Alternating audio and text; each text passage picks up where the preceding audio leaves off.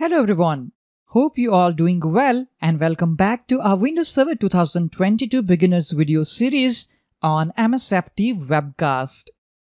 In this video, we will see the steps on how to manually remove a Windows Server 2022 domain controller.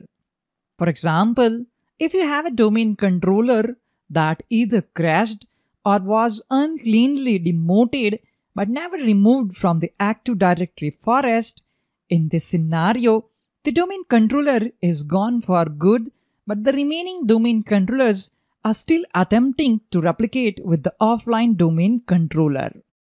Aside from the replication errors that will fill the event logs of the remaining functional domain controllers, the situation can cause authentication and DNS lookup failures for members of the domain. Since the original domain controller is gone, we will need to manually remove it from the Active Directory. During a normal demotion, an Active Directory domain controller must contact another DC to let it know that the demotion is taking place. This allows the demoted DC to be removed from the replication topology so that its partners will no longer attempt to contact it for the replication. However, in some situations, a DC may no longer be able to contact another DC in the domain. If this condition cannot be resolved, a forced demotion can be performed to demote the affected DC without contacting another DC. Forced demotion should be considered as a last resort when there is no practical way to restore normal communication between the affected DC and its partners.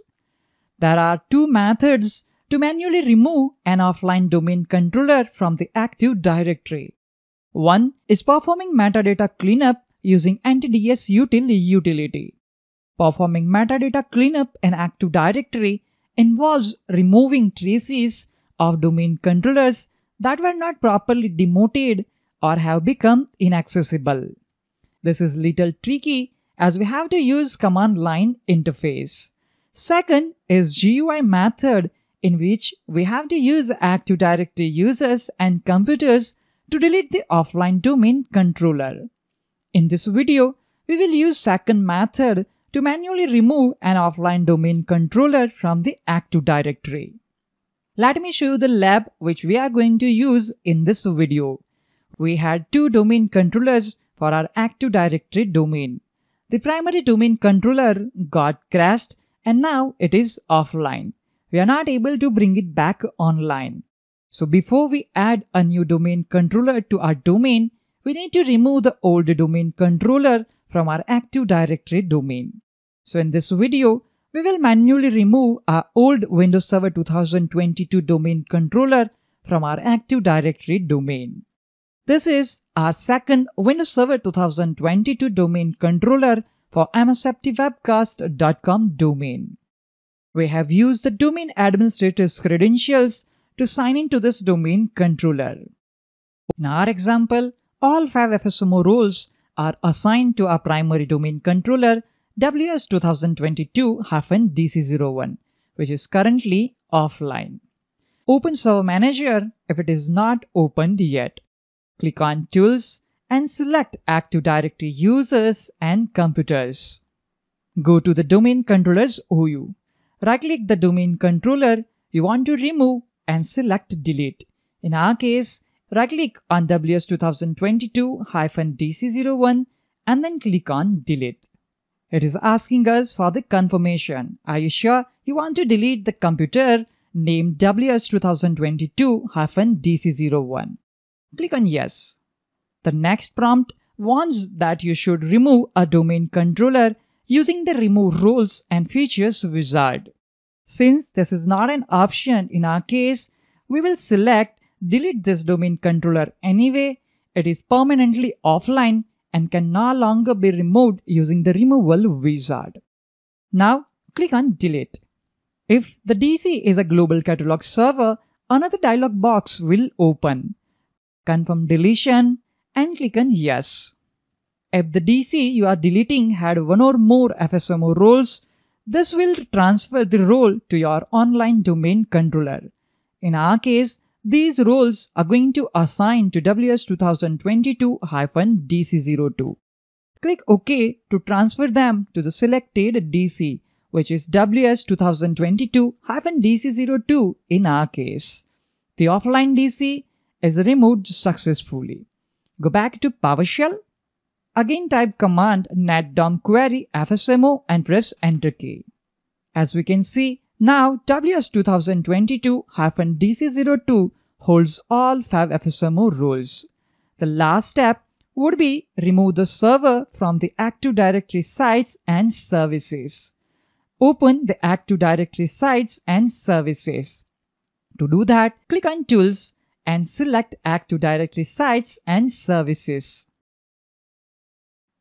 Expand the site where the known functional domain controller was located. Right-click on the known functional domain controller and choose Delete. On confirmation window, click on Yes to proceed with deletion. Select Use Delete Subtree Server Control checkbox and click on Yes to delete it. The old server has been deleted successfully from Active Directory sites and services. If the old domain controller also had a DNS role, then we also need to remove the server from the Name Servers tab in the DNS Manager. Open the DNS Manager on the active domain controller. Expand forward lookup zones and right-click on your domain DNS zone and select Properties. Go to the Name Servers tab. Under the Name Servers tab, select the FQDN of the domain controller that was removed. In our case, it is WS 2022-DC01. Select the FQDN, click Remove, and then click on Apply. Click on Start of Authority tab. Here we can see the primary server is WS 2022-DC02. Click OK. We need to perform the same steps for msdcs.msftwebcast.com DNS zone expand underscore msdcs.msftwebcast.com, right click on it and select properties. Click on name servers tab and remove the old FQDN entry. Click on apply and click on OK. As you can see, we don't have any alias name entry for our WS 2022-DC01 server. Let's check for SRV records as well. On DC sites, first site, TCP and we have only two SRV records for WS2022-DC02 domain controller. Let's check the same for our domain DNS zone as well.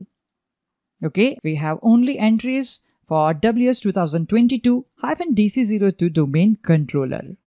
So we can confirm that SRV records are also updated. Let's check the reverse lookup zone as well. Okay, we don't have the reverse lookups on, so let's create a one. Let me specify the network ID, which is going to be 172.168.72. Click next, next, and finish. And let's create a pointer record for this uh, domain controller. Okay.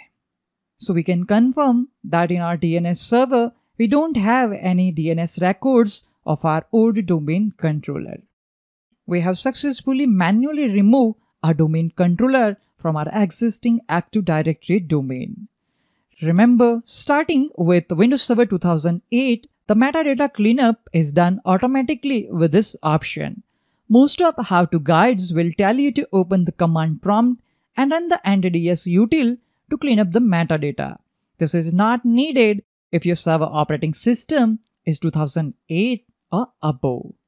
Demoting a domain controller isn't that difficult anymore since Windows Server 2008 R2. A lot is done on background these days automatically like transferring the FSMO roles and cleaning up the metadata of old domain controller. That's all for this video on how to manually remove an offline domain controller from an existing Active Directory domain. I hope you found this video helpful. If you have any questions and suggestions regarding this video, please let me know in the comments section. Thank you all for watching this video. Have a nice day.